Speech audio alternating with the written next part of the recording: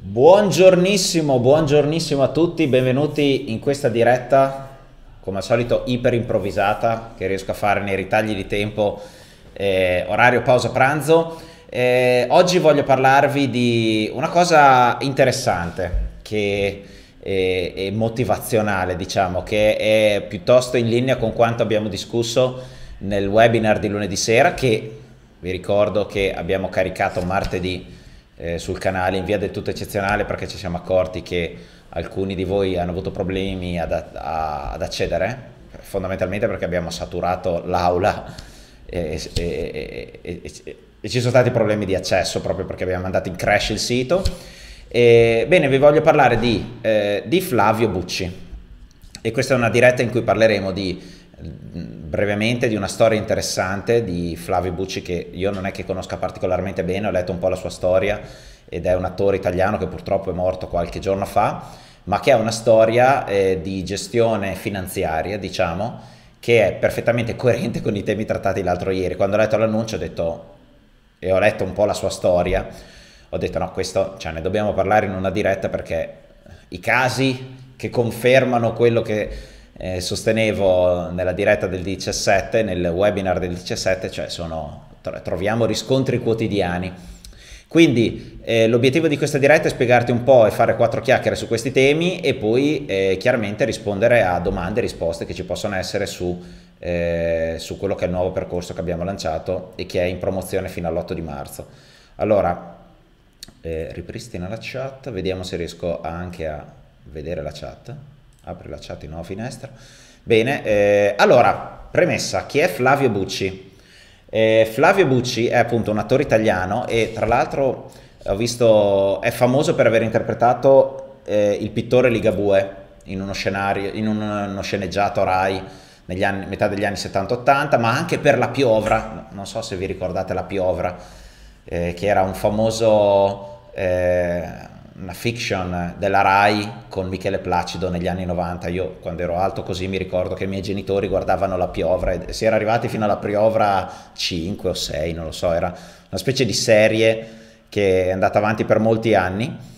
Eh, la versione italiana del padrino, diciamo. E quindi insomma un attore non di, eh, che è partito direi dal cinema ma poi ha lavorato molto in teatro e eh, comunque che ha avuto una carriera eh, molto, molto, molto importante, eh, faceva spettacoli in teatro, soprattutto con cadenza giornaliera, quindi adesso io non sono un gran esperto di teatri, ma eh, comunque sicuramente una persona che non ha avuto problemi di reddito, eh, tanto che dichiara, ho trovato un articolo di Vanity Fair, non so perché mi sono ritrovato a, cercare, a leggere un articolo di Vanity Fair, ma vabbè, ho trovato un articolo di Vanity Fair in cui eh, diceva come lui è arrivato a guadagnare anche 2 milioni di lire al giorno negli anni 90, cioè 2 milioni di lire negli anni 90 potrebbero essere 2-3 mila euro al giorno di oggi.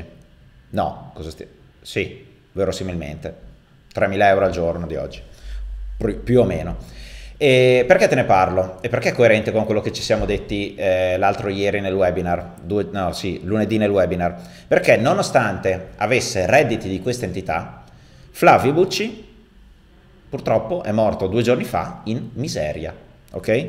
E questa intervista del 18 di ottobre del 2018 che leggo di Vanity Fair è stata eh, tratta da appunto un'intervista che, cioè è un, un, articolo tratto da un'intervista che gli è stata fatta in una casa famiglia sul litorale di Fiumicino dove oggi, cioè al tempo di, di, di, dell'intervista di 2018, Flavio Bucci viveva quasi in miseria. E allora penso che sia interessante chiedersi com'è possibile che una persona che ha fatto, stavo guardando su Wikipedia quanti film ha fatto, devo scrollare diverse volte per vedere la fine, non lo so, 50 film, 60 film, eh, televisione, cortometraggi, teatro, cinema, ha guadagnato medie di 2 milioni di lire al giorno negli anni 90, 80, 90 quindi non si può dire che non guadagnasse bene. Com'è possibile che finisca tutto, finisca la propria vita in miseria? Aveva delle sane abitudini di gestione delle proprie finanze? Stiamo valutando solo questo, non, non, non lo conosco come persona, non, non, lo conosco neanche bene come attore, Eh, mi interessa studiare il caso dal punto di vista finanziario, che invece è una tematica che conosco bene. Com'è possibile che una persona con un reddito di tale entità si ritrovi a non avere, eh, cioè a vivere una vita, la, l'ultima parte della sua vita in miseria? Allora, partiamo dal presupposto che eh, aveva un po' un approccio alla vita alla James Dean, diciamo. Eh, ho speso tutto in vodka, cocaina e donne. un po' mi è venuta in mente la frase di George Best, calciatore, che disse, testuali parole, è famosa perché si è vista in modalità meme dappertutto, ho speso gran parte dei miei soldi per alcol, donne e macchine veloci, tutto il resto l'ho sperperato. Bellissima questa frase, cioè come dire che insomma viveva la sua vita come se, fosse, come se ogni giorno fosse l'ultimo, però poi con questo approccio non c'è da meravigliarsi se alla fine della tua, cioè seconda, nell'ultima fase della tua vita, quando magari non lavori più e, e dovresti vivere di quello che hai accantonato, ti ritrovi in miseria. Bene, eh, questa è stata un po' la filosofia che ha guidato Flavio Bucci e direi che può essere sicuramente un modello come attore da prendere come riferimento. Per quanto riguarda la gestione finanziaria, auguro, cioè, lo porto come esempio che non penso sia da prendere come, come, come riferimento anche perché solo di bamba, questa bella terminologia da giovani, solo di polvere bianca, di cocaina, ha bruciato 7 miliardi di lire. Ok? 7 miliardi di lire, articolo Vanity Fair del 18 di ottobre 2018, ok? Che riporta di Nicola Bambini, eh, riporta come si è bruciato 7 miliardi eh, di cocaina cioè di, di euro, cioè scusa, 7 miliardi di lire in cocaina. Eh, incredibile, si sparava 5 grammi al giorno, testuali parole sue. Eh, poi dice, poi scarpe, cravatte che non mettevo mai. E le donne, insomma, eh, diciamo che ha, è più o meno in linea con George Best, non si parla di auto veloci ma più o meno in linea. cosa possiamo imparare da questa storia? Cosa possiamo imparare? Scrivetemelo nei commenti, poi vi darò quella che secondo me è la mia morale, ma non è diciamo molto diversa da quello che ho detto il 17 nel webinar di lunedì, che ripeto potete trovare in via del tutto eccezionale nel canale perché l'abbiamo caricato. Qual è la morale di questa, storia, di questa triste storia? Ci aggiungiamo anche che dal punto di vista familiare, due matrimoni alle spalle, tre figli, eh, insomma, dichiara di non essere stato un padre vicino ai suoi figli, diciamo che potenzialmente un gran bravo attore, ma dal punto di vista della capacità di gestire le proprie finanze e un po' di pianificare la sua vita in generale, non penso sia un modello da prendere come riferimento.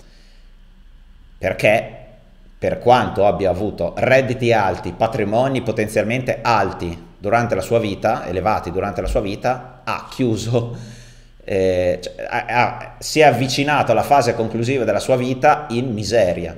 Eh, pen- è chiaro che nessuno di noi ambisce a portarsi i soldi nella tomba, ma sicuramente in americano dicono eh, to run without life without no, eh, to run uh, without of money before running out of life, cioè almeno arrivi alla fine dei tuoi giorni con il capitale che ti serve per poter mantenere il tuo tenore di vita.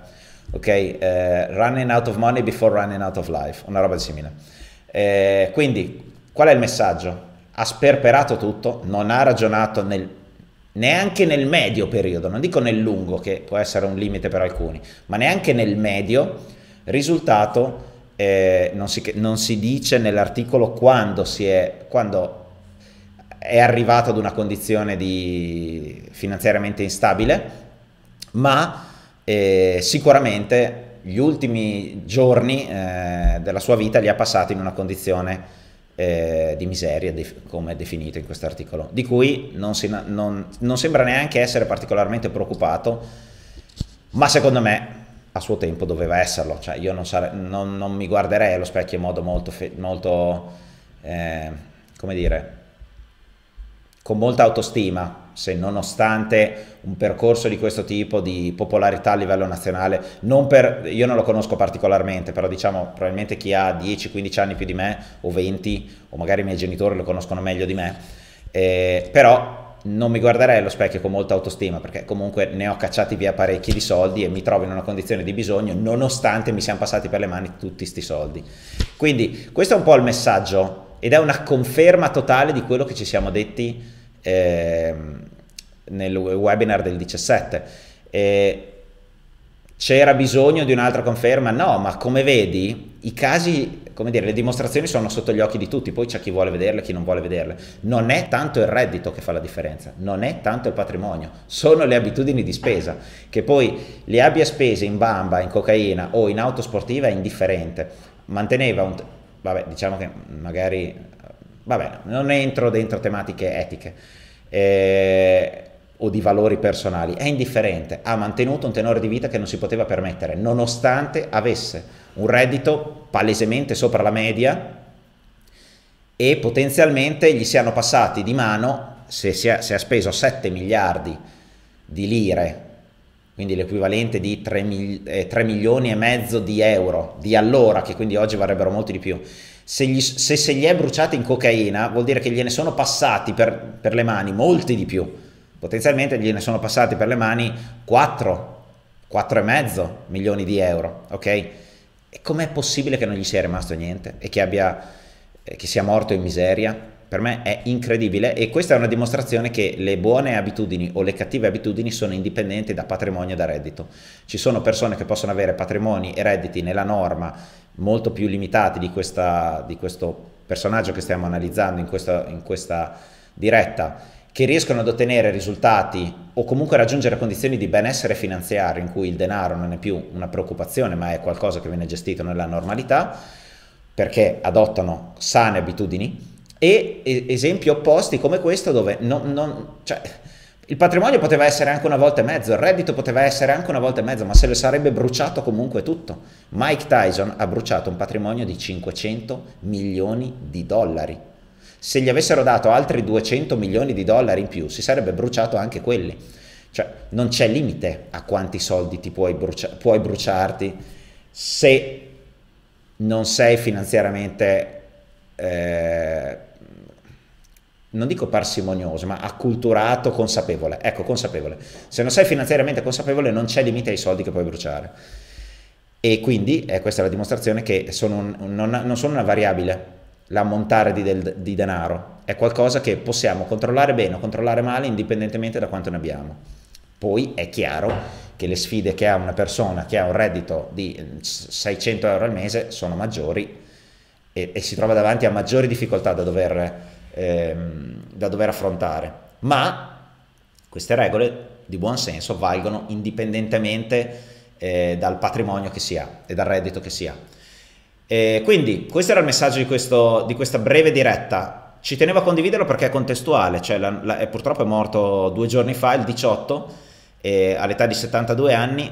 Mm, no, non è sicuramente un modello che a me piace, ripeto, magari dal punto di vista eh, della recitazione, dal punto di vista della sua professione sicuramente è stato un modello per molti, dal punto di vista della gestione delle proprie finanze e della gestione delle proprie decisioni in una vita professionale, in una vita intera, non penso sia un, un gran modello di riferimento, però mh, poi il bello è che la vita ognuno prende le decisioni che vuole e però siamo qui a cercare di imparare da chi ottiene risultati e sicuramente non si trova, non passa dalle stelle alle stalle, cioè il messaggio è proprio questo, perché c'è qualcosa che è andato storto. Ok? Quindi fatemi sapere cosa ne pensate. Come faccio a vedere la, ecco qua, la, la chat. E intanto saluto chi è in diretta su Facebook. Ciao Luca, ciao Lince, ciao Salvo. Vediamo domande su, su, YouTube. Ricordo un'intervista di Paolo Villaggio, spiegava che spendeva anche 50 milioni in un giorno con i suoi amici. Un giorno erano a Napoli e decisero di andare a mangiare la paella in Spagna con un aereo privato andata e ritorno. Eh, sì, non so, ecco direi che non so, la situazione finanziaria di Paolo Villaggio sarebbe interessante, vediamo se la trovo. Non penso sia finito, eh, cioè sia morto con problematiche, cioè pro- ma è vivo o morto Paolo Villaggio? Boh. No, è morto, ditemelo. Villaggio, vediamo. Eh, non lo so. Eh no, ah è vero che è morto qualche anno fa nel 17. Non mi risulta che sia che abbia avuto problemi finanziari. Eh, però cioè, ce ne sono tanti eh, di, di, personaggi che hanno avuto problemi finanziari. Durante il webinar citavo eh, Lady Gaga, anche lei non so con, quanto, con, che reddito ha avuto problematiche di questo tipo, Johnny Depp. Eh, Johnny Depp ha dichiarato di, che spende, in un certo periodo della sua vita spendeva 2 milioni di dollari al mese. Oh, ma quante Ferrari compri con 2 milioni di dollari? Cioè, dico, ci riempi un paio di capannoni di, in un, paio di, in un anno ci riempie un capannone di Ferrari. Cioè, vi rendete conto dell'entità di capitale che può essere bruciato? E il punto è, ma ben venga a bruciarselo, se ce li hai spendili come ti pare, l'importante è che poi non, vai, non finisci in bancarotta e invece Johnny Depp è finito in bancarotta. Quindi vale il, il, messaggio è sempre, spendi quanti ne vuoi, spendili come ti pare, quanto ti pare, basta che poi hai fatto i conti eh, come si deve e, e, e non ti ritrovi in situazioni di di, di, di difficoltà economica, e che invece è l'atteggiamento che contestiamo e che, che riteniamo si, eh, atteggiamento al quale ritengo bisog- si debba stare molto attenti e, e nell'ottica di evitare situazioni così in futuro. E, ehm, vediamo se c'è qualche altro commento. Questo è un po' anche MC Hammer. Ah, il rapper, sì. Finito per strada a vendere Rolex, Rolex falsi. Beh, poi nel, nel, mondo del rap 50 Cent, eh, ne abbiamo parlato lunedì, eh, ma adesso basta fare qualche ricerca e sono tantissimi i casi. Perché? Perché, perché queste persone, cioè al di là del fatto che spende, tenevano, avevano un tenore di vita che non si potevano permettere, perché si sono ritrovati in questa situazione? Scrivetemelo nei commenti, perché? Eh, ritengo, se devo darvi una mia visione, è che la mancanza, cioè quello che li ha portati in questa situazione, non è tanto quanto spendessero, perché lo ripeto, se tu hai reddito, patrimonio e poi per, cioè, chi, chi te lo impedisce di spenderli? Il problema è se tu hai reddito e patrimonio, ma non hai fatto due conti di quanto costa il tuo tenore di vita nel lungo periodo, quanto il tuo patrimonio può generare reddito da investimenti per sostenere il tuo tenore di vita che magari non può essere più sostenuto solamente dal reddito da lavoro. Insomma, manca qualunque tipo di pianificazione sul futuro. È gente che vive alla giornata, cioè l'atteggiamento che li ha portati in queste condizioni è il vivere alla giornata, cioè è, ed è quello che io contesto e che non è che lo contesto perché per mia opinione personale, perché nessuna persona di successo che ho studiato, che è rimasta di successo, in, cioè che è partita da una condizione di normalità, senza particolari aiuti familiari o che ha ereditato soldi, eccetera, ma che ha creato il suo destino e ha mantenuto una condizione finanziaria di successo, che ha mantenuto una condizione di successo, finanziariamente di successo per lunghi periodi di tempo. Bene, non hanno seguito questo atteggiamento, non hanno utilizzato questa mentalità, hanno utilizzato un atteggiamento di lungo periodo. Quindi non hanno vissuto come non ci fosse un domani. Perché? Perché un domani ci sarà, a meno che non ti auguri di morire in giovane età e non ha senso, eh, sono chiaramente provocatorio. Quindi dal momento che nessuno si augura di morire in giovane età, un domani ci sarà. E se vuoi, se vuoi spendere tanto, e ci sta, lo ripeto, non, non, siamo qui a dire che dobbiamo andare a lavarci eh, al ruscello per risparmiare l'acqua corrente, no, capisci il messaggio? Dobbiamo però capire cosa davvero ci possiamo permettere e cosa non ci possiamo permettere. Non possiamo ragionare però solo sul oggi me lo posso permettere, quindi anche domani me lo potrò permettere, perché è sbagliato. Perché è la storia della cicala e della formica, è una novità? No, ma, ma però se fosse, se fosse così banale questo concetto non esisterebbero questi casi. Se tutti, la, la, la, la favoletta della cicala e della formica la racconto ai miei figli, e ci sta perché sono bimbi e hanno 3-5 anni, però dico, se fosse un concetto che tutti noi facciamo nostro e siamo tutti d'accordo che eh, non, possiamo, non possiamo non considerare che ci saranno anche dei momenti di difficoltà futura legati a, boh, a cose imprevedibili e quindi comunque dobbiamo avere del margine, dobbiamo pianificare nel lungo periodo. Ecco, se non lo facciamo non possiamo meravigliarci poi che un domani ci ritroviamo come nelle condizioni che discutevamo sia nel webinar che quella che abbiamo discusso in questa, in questa diretta di Flavio Bucci, cioè direi che sia abbastanza logico. Okay. Però è logico, ma comunque è un atteggiamento che molte persone non adottano. Perché? Perché? Fatemelo sapere nei commenti. Monica, 50 milioni? io, cert, io certe cifre non riesco neppure a immaginarmene, al massimo arrivo al triplo di quanto abbiamo pagato la casa. Eh, Uompia. Lo stesso succede a molti che vincono la lotteria, è un altro tema che abbiamo discusso nella, nella, sempre nel, sì, sia nel webinar che nella sessione di domande e risposte che c'è stata a seguire. La, leggete le statistiche dei, dei milionari, cioè di chi vince la lotteria e perde tutto nell'arco di 5-7 anni. È incredibile. Poi dopo, se non ci sono domande, vi racconto un aneddoto interessantissimo di una persona che avevo capito, che era invece saggia dal punto di vista della gestione del denaro, che è riuscito a, a preservare il capitale che ha vinto. Eh, Yuri, non avere il cervello. Eh sì, sì, eh, Mauro, forse l'orgoglio e l'ego hanno preso il sopravvento. Sì, certo. Eh, sì, sicuro. Nessuna entrata, solo uscite. O comunque, Doug, eh, o comunque eh, più uscite di quelle che sono le entrate. Che per un mese è sostenibile, due mesi è sostenibile, intanto inizi a mangiare patrimonio, poi te lo mangi sempre di più e poi se non tagli le spese, bankruptcy. Uompia, il problema è il mindset che hai c'è chi, guarda, c'è, c'è chi cerca la gratificazione immediata, anche la mia ex era così, bruciava tutto quello che guadagnava con la sua attività. Sì, infatti in inglese lo chiamano delayed gratification e questa è la vera differenza, questa forse avrei dovuto aggiungerla nelle, nelle slide, la vera differenza tra le persone eh, di successo, lo ripeto qui, prendiamo come riferimento Parliamo di in ambito finanziario, ma vediamo che dal momento che si parla di mindset potremmo prendere questi concetti e applicarli anche a imprenditori di successo.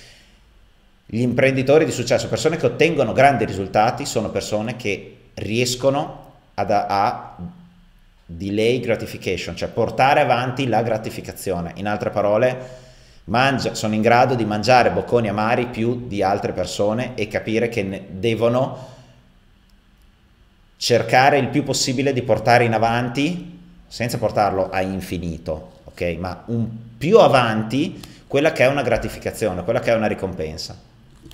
E, tanto che, se avrete letto un po' di biografie di, di, di imprenditori famosi, questi ti dicono per me il, anche se avevo raggiunto un tenore di vita che era assolutamente in linea con, con, i miei desideri, molto di più di quanto mi sarei mai immaginato, quello che mi dava piacere era il percorso, cioè il, la crescita di quello che stava costruendo, la, la, crescita personale, la creazione di un progetto, non era neanche più, cioè aveva, era spinto da qualcosa che non era la gratificazione immediata, era una gratificazione che poteva portare avanti nel tempo, tanto che a quel punto lì, non so se passa il concetto, è molto profondo, eh, a quel punto lì non era neanche più alla ricerca della gratificazione, era la ricerca di un percorso di, miglior- di, sì, di miglioramento costante, chiaramente della propria realtà professionale piuttosto che finanziaria, a un certo punto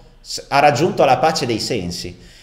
E la maggior parte degli imprenditori di successo che io ho studiato o persone finanziariamente di successo hanno raggiunto questa condizione, dove è chiaro che si tolgono degli sfizi eh, eh, cioè non è che, ripeto, non è che non, non estremizziamo, ok? Gli sfizi se li tolgono, ma sono in grado di, sono molto razionali nel decidere quando toglierseli e sono maturi a sufficienza dal dire magari questa cosa non me la prendo adesso, me la prendo tra un anno, ok? Dopotutto, dopotutto, chi è che dice lo voglio subito? No, lo voglio adesso! E lo dicono i bambini, lo dicono i miei figli. Quindi l'atteggiamento, l'avere una gratificazione istantanea, immediata o il, nel più breve tempo possibile, in qualunque campo, o raggiungere un, un obiettivo non mettendo sul piatto impegno, sforzo, determinazione nel lungo periodo, eh, cioè, mi sono perso nella frase, comunque il concetto è chi vuole gratificazione istantanea, i bambini o persone che non, sono, che non hanno il mindset giusto, potenzialmente immaturi chi riesce a ottenere risultati è chi riesce a ragionare nel lungo periodo, sia nella gestione finanziaria che nella gestione professionale, che eh, in, qualunque altra, in qualunque altro ambito, posticipando avanti determinati raggiungimenti o soddisfazioni personali che ci si vuole togliere. E questo è un segno di grande maturità. Lo ripeto, sono casi studio, questo si chiama modeling, è una terminologia di Anthony Robbins, un concetto di Anthony Robbins, cioè copiamo persone che hanno ottenuto successo, cerchiamo di capire perché hanno ottenuto successo, quali sono gli aspetti caratteriali che li hanno portati a ottenere questi risultati, cerchiamo di capire cosa possiamo copiare, cosa non copiamo, e questo è un esempio che abbiamo riportato che non è da copiare dal punto di vista della gestione finanziaria, ma studiamo le persone di successo, perché abbiamo da imparare. Bene. Eh... Simone, eh, ci sono vari casi in cui le persone che hanno vinto milioni alla lotteria hanno sperperato tutto, sì, e sono, si sono ritrovati più poveri di prima. prima. Wompia, Bob, Bob, Bob, Proctor spiega molto bene la mentalità di chi torna povero, assolutamente. Eh, non conosco bene Bob Proctor, ho studiato altri eh, formatori americani, però insomma diciamo che i concetti sono poi quelli apotropaico. Il domani è impalpabile, il presente invece lo puoi assaporare. Certo, è vero, è, è, è indiscutibile. Cioè non è una gran... Certo, però non pensare che ci sarà un domani vuol dire augurarsi di non arrivarci. E quindi è un controsenso. Cioè, è, cioè, è, chiaro che cerco di godermi. È, questa è la difficoltà, ragazzi, questa è la difficoltà dell'adulto, è trovare il compromesso in qualunque cosa, tra lavoro e vita personale, tra lavoro, imprenditoria, e hobby, eh, eccetera, è trovare il giusto compromesso e negli estremismi non c'è mai di solito la chiave, cioè la, il miglior compromesso è non sacrificare nessuno di questi elementi, come anche la tematica temporale. Non puoi vivere solo nell'oggi, come non puoi vivere solo nel domani. Penso sia logico, cioè questa è l'ultima sofisticazione per chi cerca di dare alla propria esistenza un senso, trovare il miglior compromesso e non può essere vivi come non ci fosse un domani o, vi, o non goderti il presente perché vivi solo come ci fosse un domani, eh, come, perché vivi solo nel domani, come non ha senso neanche vivere nel passato, c'è certa gente che dice ah si stava meglio quando si stava peggio, no, cioè viviamo nell'oggi consapevoli e, il nostro focus dovrebbe essere, non so, un 50-60% sull'oggi, ma vabbè, anche 60-70, ma un 20-30, adesso sono numeri sparati a caso per farvi capire più o meno l'entità del, del, del focus, dovrebbe essere concentrato sul domani, perché il domani ci sarà. È chiaro che è più difficile, perché è impalpabile, ma tutti ci auguriamo di invecchiare e di diventare nonni, direi, o no? O se non nonni, di, di di far sì che la nostra vita evolva e trovarsi davanti a sfide differenti rispetto a quelle di oggi. O no? Ma Matteo, eh, grazie per il tuo tempo e il tuo impegno. Il problema è che la maggior parte delle persone non ha la capacità di pianificare a lungo termine. Allora, dal punto di vista personale, eh, eh, questo può essere un problema.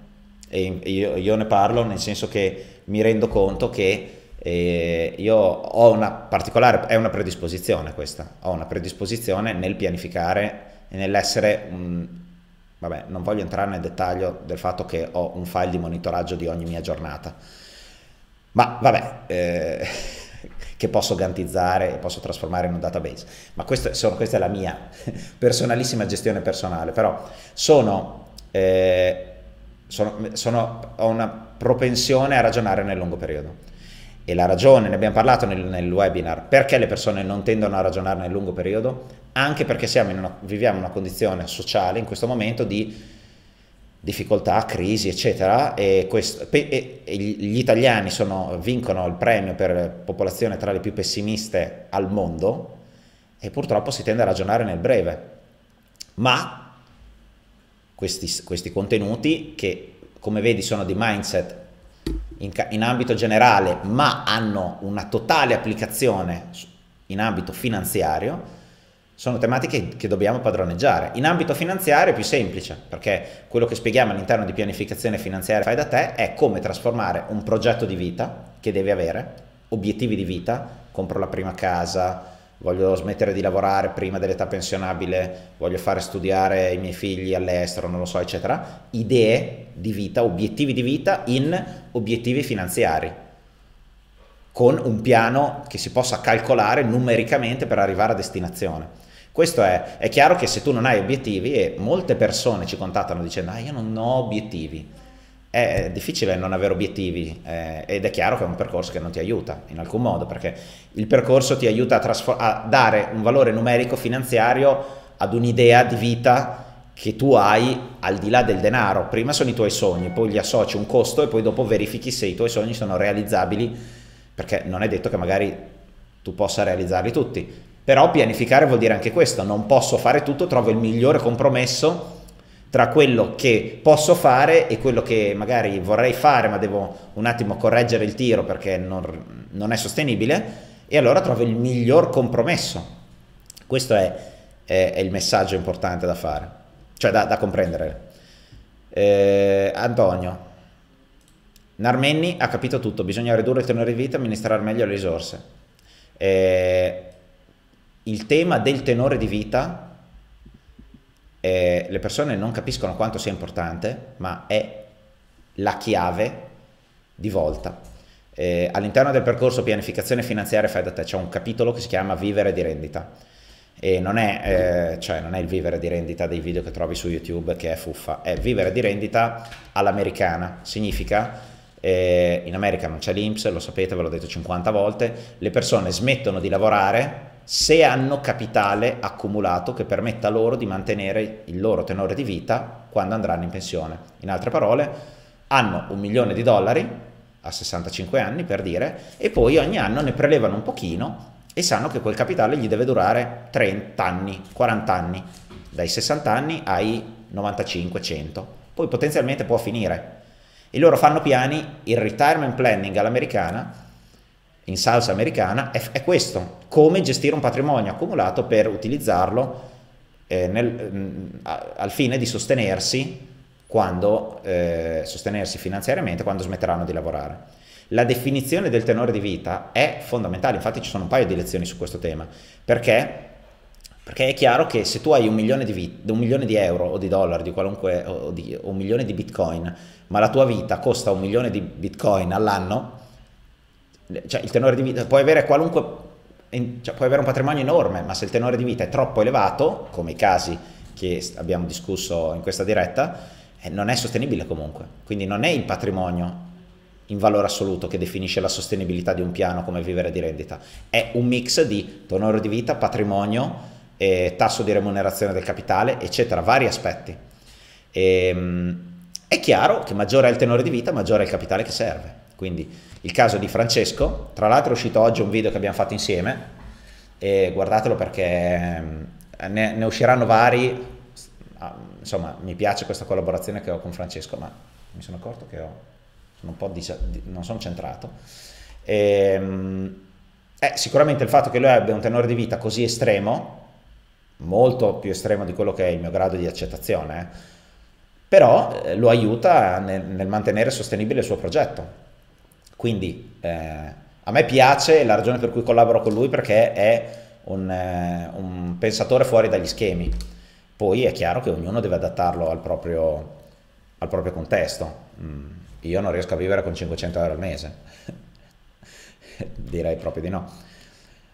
Ok, Davide, eh, prendere l'iniziativa, imparare sempre e dare tempo. Yes.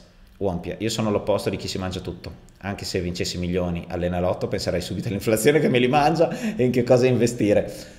È giusto, cioè è giusto. Ehm, vedi il compromesso? Poi uno deve anche pensare che cosa me ne fa, cioè giusto non perderli, la priorità è non perderli. La seconda priorità è mantenere il passo dell'inflazione, però chi l'ha detto che uno debba... Ecco, questo è un aspetto importante. Molta gente ci contatta e dice ma voglio vivere di rendita. Ma vivere di rendita tecnicamente vorrebbe dire che se tu hai un milione di euro, questo capitale rende, produce una rendita del 3% all'anno, tu dovresti vivere del 3% eh, che produce della sola rendita. Ok? quindi non consumeresti il capitale, ma vivere di rendita vuol dire vivo della sola rendita, teoricamente. Ma non è così, non è detto che debba essere così. Infatti negli Stati Uniti non si fanno piani dove si consuma solo la rendita, si fanno piani dove c'è sia consumo di rendita che di capitale. È chiaro che se, se non fai una pianificazione finanziaria ti trovi come nel caso di Flavio Bucci o di qualunque altra persona che è andata in fallimento finanziario, dove ha consumato talmente tanto capitale, quindi non solo la rendita, ma anche talmente tanto capitale che poi li ha finiti. Quindi, eh, vedi, bisogna tarare, tarare l'orizzonte temporale, però non c'è niente di sbagliato nel consumare capitale. Chi se ne frega? Cioè, cioè, i miei figli devono essere finanziariamente autonomi, non è che devono dipendere dalle mie finanze. Poi è chiaro che li aiuterò il più possibile, però cioè, io poi entro certi limiti e in linea con quello che è il mio stile eh, di vita voglio poi godermeli, giusto? La, la percepite la differenza? Uompe, Uompia, quanto scrivi? Grande. Il mio americano il marito americano di una mia amica il prossimo anno sarà in pensione e avrà 45 anni. Oh yes. Non, eh, io sono andato negli Stati Uniti a settembre, ci torno probabilmente a maggio. E, e molti, ho conosciuto diverse persone che eh, tra i 40 e i 45 anni hanno smesso di lavorare.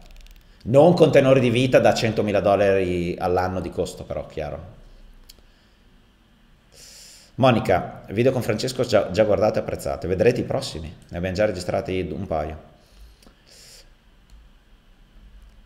Eh, Uompia, Dina Armeni condivide alcuni concetti, per me per certe cose è folle, io voglio vivere bene con molte fonti di entrate, sì no ma anche per me, folle direi estremo, cioè l'idea di farmi il sapone, io gliel'ho detto, rido, scherziamo su sta cosa, non esiste dai, non esiste, però però per me è stimolante, vedi? Perché, perché mi dice che se lui lo fa si può fare, poi è una mia scelta decidere di farlo o no. Secondo me è affascinante essere esposti a questi contenuti perché lui ti fa capire che si può fare, nessuno te lo impedisce. Lui si fa la legna, cioè, va, va, nel bosco a farsi la legna. Lo farei mai io? No, io la comprerei già tagliata. Cioè, se mai volessi avvicinarmi, la comprerei già tagliata. È affascinante o no? Per me è affascinante, cioè io sono, cerco di tenere la mente molto aperta, poi è chiaro che mh, prendo quello che mi piace prendere e quello che è in linea con i miei valori, non tutto, però su certe cose, ad esempio sul consumismo estremo, mi trovo molto in linea, infatti ci saranno dei video che sono tra i miei e i suoi, ci può essere anche una buona sovrapposizione. Marco, Ciao Giorgio, fantastica la, la collaborazione con Francesco, costruttiva e assolutamente aiuta in quanto due esempi reali di struttura imprenditoriale. Sì, adesso Francesco, mm, beh, parlo, parlo, io per lui, ma te lo dirà lui, no, lui è spinto dalla creazione di una community, non ha un, una finalità imprenditoriale dietro.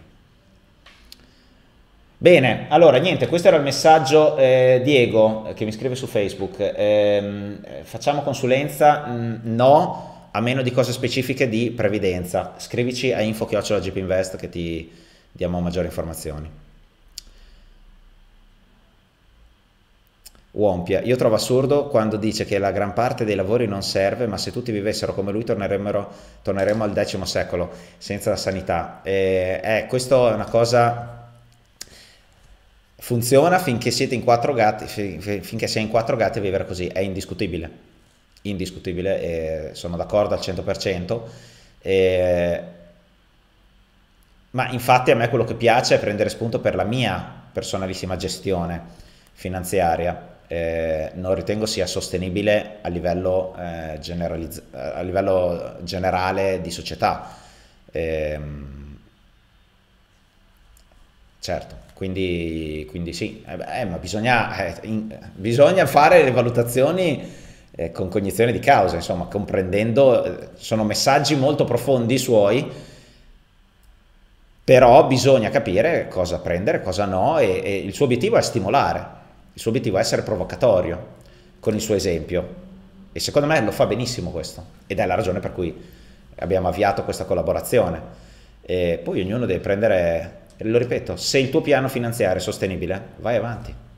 E il mio deve essere sostenibile considerando il costo di andare a comprarmi la legna, non la ma non solo, ma molti più lussi, cioè io comunque la passione, ho una famiglia, ho due figli, ce li ha anche lui, ma diciamo che voglio comunque dargli ho un piano che è abbastanza chiaro su quello che voglio che facciano i miei figli come possibilità, non come percorso, come possibilità che voglio dargli.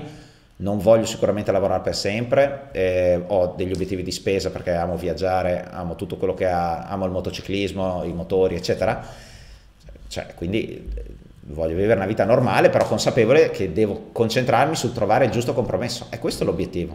La pianificazione finanziaria è questo, è lavorare per trovare il miglior compromesso, pianificando il possibile, il, pianificando il futuro il più possibile, consapevole che il futuro lo progetti, cioè sì, eh, lo, lo, progetti, lo proietti e ti proietti nel futuro, essere, potrebbe cambiare, potrebbero esserci eventi inaspettati, e, ebbene, la vita è fatta così, è piena di cose inaspettate, giusto? Bene. Bene, io direi che ci salutiamo, eh, guardate i video del canale in queste tre settimane perché come vedete, visto che siamo in fase di lancio eh, del percorso pianificazione finanziaria fai da te, vi ricordo che è in promozione fino, al, ehm, fino all'8 di marzo, Maggiore informazioni alla pagina gpinvest.it slash pianificazione che trovate in sovraimpressione voi che siete su YouTube. Eh, in occasione di questo lancio stiamo ehm, proponendo molti contenuti mirati su queste tematiche. Ho un altro paio di dirette con altre idee molto interessanti che voglio condividere, che farò la settimana prossima in futuro. Eh, quindi non perdetevi il canale perché in queste tre settimane appunto sarete esposti a contenuti coerenti con questi messaggi molto, molto cioè di grande valore. Teniamo da parte un po' la tecnica dell'investimento che tornerà con, eh, con eh, e anche le mie esperienze di investitore immobiliare torneranno eh, a marzo, ma adesso concentratevi su questo perché secondo noi è comunque la priorità numero uno, non solo in ambito finanziario, ma proprio di, di raggiungimento di un benessere di vita generale è la priorità numero uno di ogni persona. Poi chiaramente noi ci focalizziamo sulla declinazione finanziaria di questo concetto, ok? Ma bisogna pianificare in qualunque cosa, in qualunque campo della propria vita. Con questo C, dopo tutto non è un caso che comunque avesse due matrimoni alle spalle, Bucci, ok? Quindi non ha pianificato, può, può succedere, eh? però dico, Molto spesso troverai delle analogie tra persone che hanno vite familiari non di successo e vite finanziarie non di successo. Troverai milionario della porta accanto, la maggior parte dei milionari comunque non aveva divorziato, non aveva, aveva trovato una compagna che era in linea propri, con, la propria visione. Studiate queste cose, sono testimonianze importantissime, vi fanno capire come le cose sono estremamente interconnesse, la sfera personale e la sfera finanziaria. Con questo è tutto, ci vediamo in una diretta, direi sia lunedì la prossima. Guardate il canale perché è pieno di bombe in, questi, in queste tre settimane e l'8 di marzo scade l'offerta per pianificazione finanziaria Fede te. Ciao, buon, buon weekend, buon tutto. Ciao ciao.